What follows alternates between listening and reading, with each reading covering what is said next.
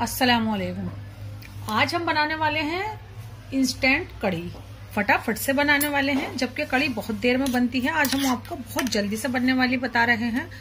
हमारे पास एक किलो दही है। घर की जमी हुई भी ले सकते हैं। आज हमने मार्केट से ली है।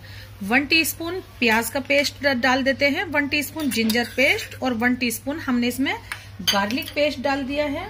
और वन टेबल स्पून हम इसके अंदर डाल देते हैं ये रेड चिली पाउडर और हम डालते हैं इसके अंदर ये दो टेबल स्पून हल्दी पाउडर और इसके अंदर जाने वाला है 100 ग्राम बेसन। और जितना हमारी दही है, उतना ही हम इसके अंदर पानी लेंगे। हा वन के ही हम पानी लेंगे। 100 ग्राम हमने बेसन डाल दिया है इसके अंदर। हम इसके अंदर अभी थोड़ा पानी डालते हैं ताकि ये अच्छे से फिट जाए और हम इसकी क्वांटिटी को डबल करेंगे। दही के साथ और इसको फेंटते हैं फटाफट। इसी के साथ साथ हम आपको ये भी दिखा देते हैं, हम बनाने वाले हैं इसकी पकौड़ी। तो वो भी हम आपको जल्दी से ही दिखाएँगे। एक हमने मीडियम साइज़ की प्याज ली है, वो डाल देते हैं। One teaspoon red chilli powder डाल देते हैं। वन टीस्पून ही हम इसके अंदर हल्दी पाउडर डाल देते हैं। दो चुटकी हम इसके अंदर खाने का सोडा डाल देते हैं। और इसके अंदर जायके के मुताबिक कह दें या फिर डेढ़ टीस्पून हम इसके अंदर डालेंगे नमक और हम इसमें थोड़ा सा पानी डाल के पहले फेंटेंगे। जब ये अच्छे से फिट जाएगा फिर देखेंगे कंसिस्टेंसी थोड़ी थिक ही होनी चाहिए तो इसको तैयार कर लेते हैं। बेसन को बहुत अच्छे से फेंटना ज़रूरी है। इसके अंदर एक भी लम्स नहीं होना चाहिए। इस तरीके से फेंटेंगे। तो आपकी पकौड़ी एकदम सॉफ्ट बनेगी। अभी आप देखेंगे, ये इस तरीके के बबल्स आ जाने तक फेंटना है। ये इस तरीके से बबल्स ही अभी फूटेगा। ये बहुत अच्छे बेसन की पहचान होती है और ये सिर्फ़ आपका बहुत अच्छे से फेंटने से ही बनेगा। ये देखें, इस तरीके से ये बबल्स आने बहुत ज़रूरी हैं। अभी ये फूटेगा। तो आपकी, जैसा आप कहते हैं, हमारी पकौड़ियाँ सख्त हो गई तो इससे सख्त नहीं होंगी। तो अच्छे से फेंटना इस तरीके से, ये देखें तो ये बहुत ज़रूरी है। हम क्या करते हैं? एक भिगोना ले लेते हैं। हमने जो आपको ये दिखाया था, अपनी कड़ी आप इसके अंदर तैयार करेंगे तो इस तरीके से ऐसे झाग आ जाने तक फेंटना है, इसे भी इसमें डाल देते हैं। जितनी हमारी दही थी, उससे डबल हम इसमें पानी ऐड करेंगे। डबल से थोड़ा सा ज़्यादा, यानी कि 100 मिलीलीटर ही ज़्यादा लिया है बस हमने।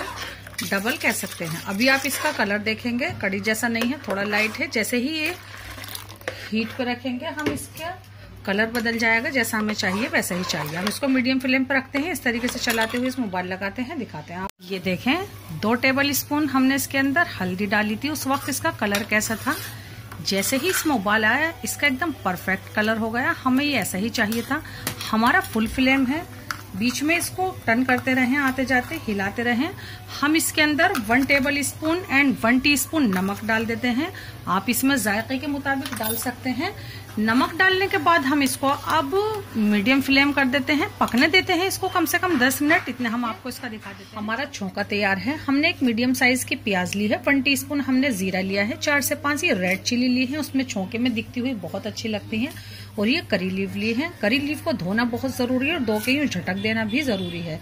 तो ये हमारा छोंका तैयार है, हम इसे साइड रख सकते हैं, लेकिन हाँ इसके अंदर आप हींग डालना चाहते हैं तो छोंके में ही साथ में आप दो चुटकी तीन चुटकी हींग इसके अंदर ले सकते हैं। इतनी क्वांटिटी के अंदर कम है तो कम भी ले सकते हैं जो आप कड़ी कम बना रहे हैं।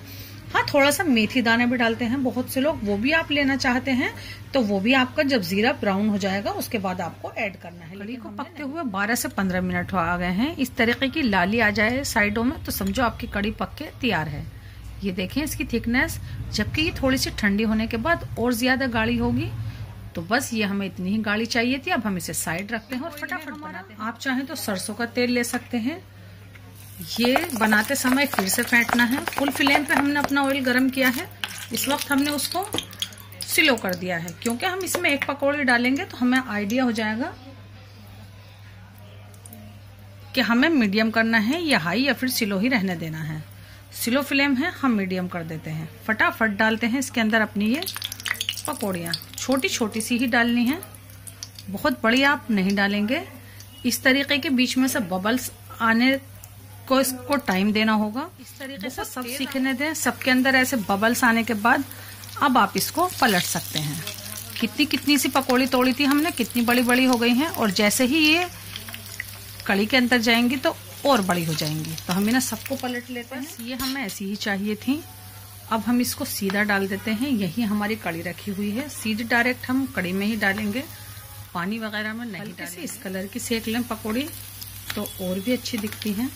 हम आपको एक पकौड़ी तोड़कर दिखा दें कि ये कितनी ज़्यादा सॉफ्ट है। ये देख सकते तैयार कर लेते हैं। सबसे पहले हम डालेंगे इसके अंदर ज़ीरा। जीरे का कलर बदल जाएगा तब प्याज डालेंगे।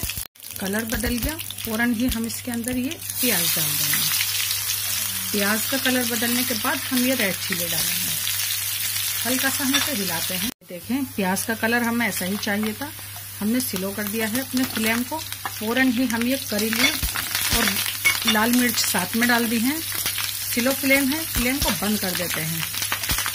करी लीफ को थोड़ा सा पकाना ज़रूरी है ताकि ये करारा हो जाए। बस, ये आवाज़ आनी बंद हो गई।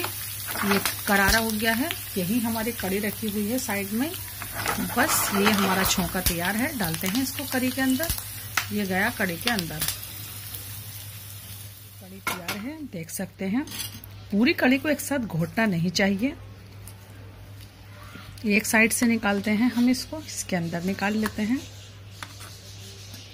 कड़ी बनके तैयार है। आप ये चावल के साथ खाएँ या फिर फुलके के साथ खाएँ या फिर ऐसे ही बाउल में करके एक चम्मच लेके ऐसे ही खाएँ, लेकिन आप ये ज़रूर बनाएँ। हमसे जुड़ें और हमारे इंस्टाग्राम पे जाएँ हमारे पेज को फॉलो करें हमसे जुड़ें अल्लाह